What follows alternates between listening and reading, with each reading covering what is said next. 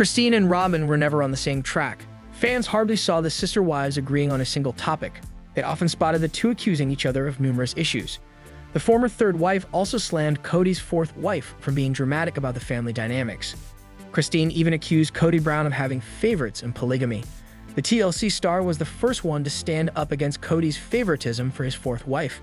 Meanwhile, the polygamist and his only remaining wife, Robyn Brown, have been blaming Christine for the family disintegration. Recently, the latter opened up about her thoughts on patching up things with Robyn.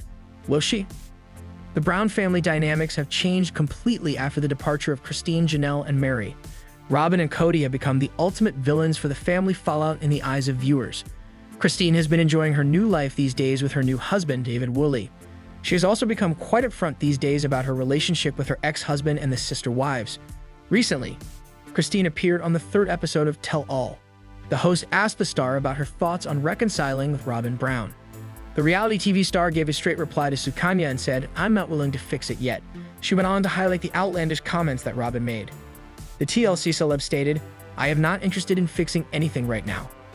She added with the kids, yes, but with Kody and Robyn, no, not yet. No. Christine went ahead to claim that she doesn't trust her ex-husband and his fourth wife anymore. Christine claimed that she was just being honest and real by accepting that she wasn't ready to patch up with Robyn. She even accused Kody of saying one thing and doing the other.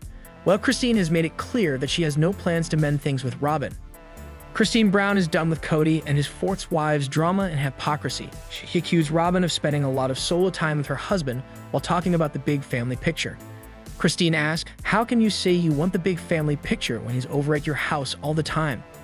Sister Wives fans are aware of the mom of six anger about. She went ahead to reveal that Robyn convinced all the sister wives that she needed to be in the relationship.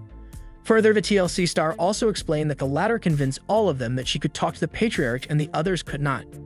Christine made it clear that is not willing to mend things with Robyn, but she had no issues with her kids having a good relationship with Kody's only wife.